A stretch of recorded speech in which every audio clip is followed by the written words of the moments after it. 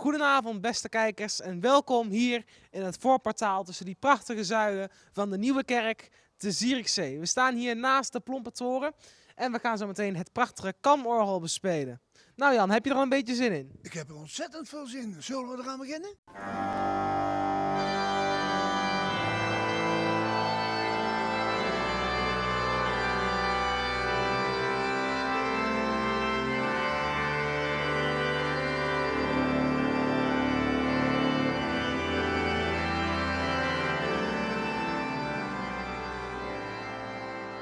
We zijn hier beland in de consistorie en eh, er is iemand aangeschoven in deze prachtige kamer. En met wie heb ik het genoegen? Goedenavond allemaal. Ja, ik ben Gerard Bin. Uh, we zitten hier inderdaad in de kerk, maar niet in de grote kerk, maar in de nieuwe kerk in Zierikzee. Ja. Uh, en ik ben de orgelbeheerder. dat betekent dat ik mensen ruimte geef om hier amateurorganisten of wie dan ook, om hier op het orgel te spelen. Dat is eigenlijk mijn functie. En dan ben ik ook nog sleutelbeheerder. Maar dat betekent dat ik gewoon een sleutel in bezit heb om voor, als dat nodig is, de kerken open te kunnen doen. Ja.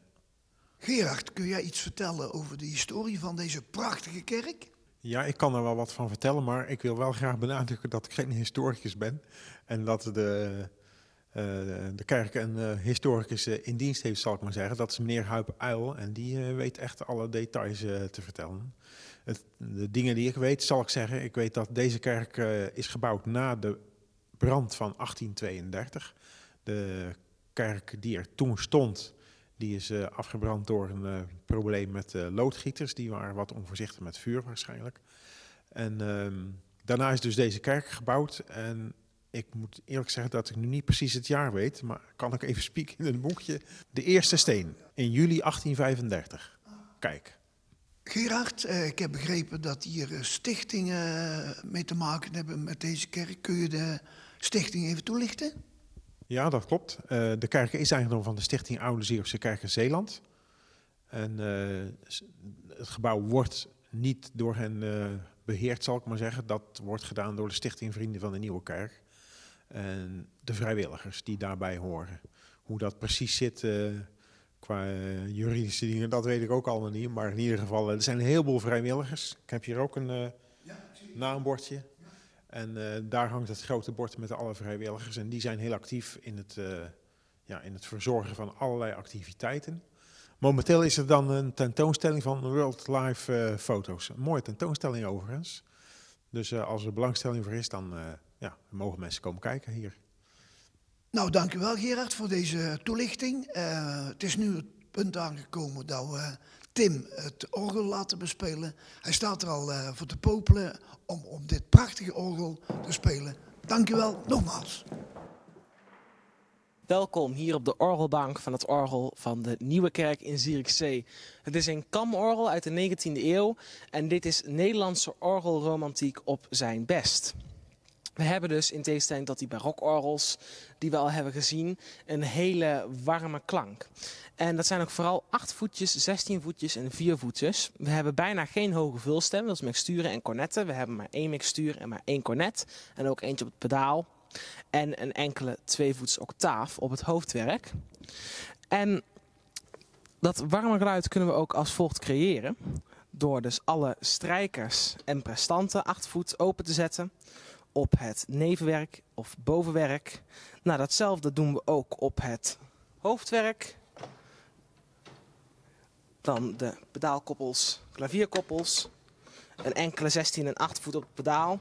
En dan krijgen we een prachtig romantisch geluid.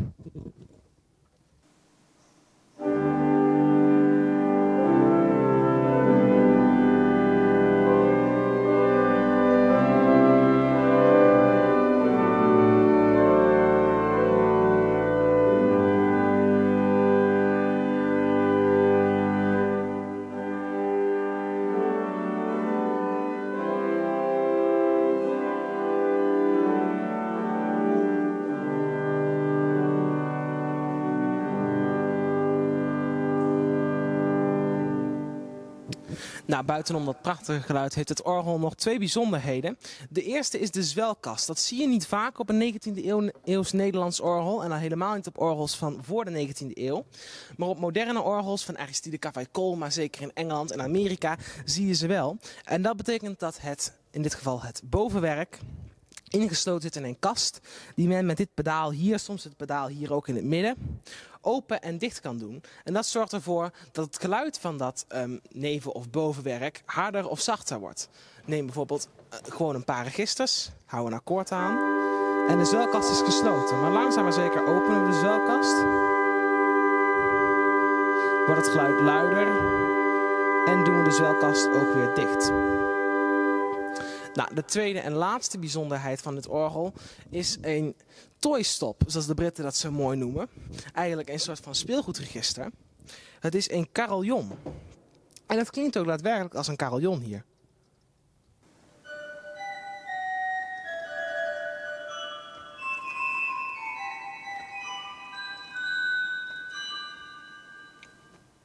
Nou, dat was dan een korte demonstratie van het orgel in de Nieuwe Kerk in Zierikzee. Het stuk dat ik ga spelen is de fantasie over Psalm 25 van Willem Hendrik Zwart, zoon van beroemde Nederlandse componist Jan Zwart en organist van de Bovenkerk te Kampen.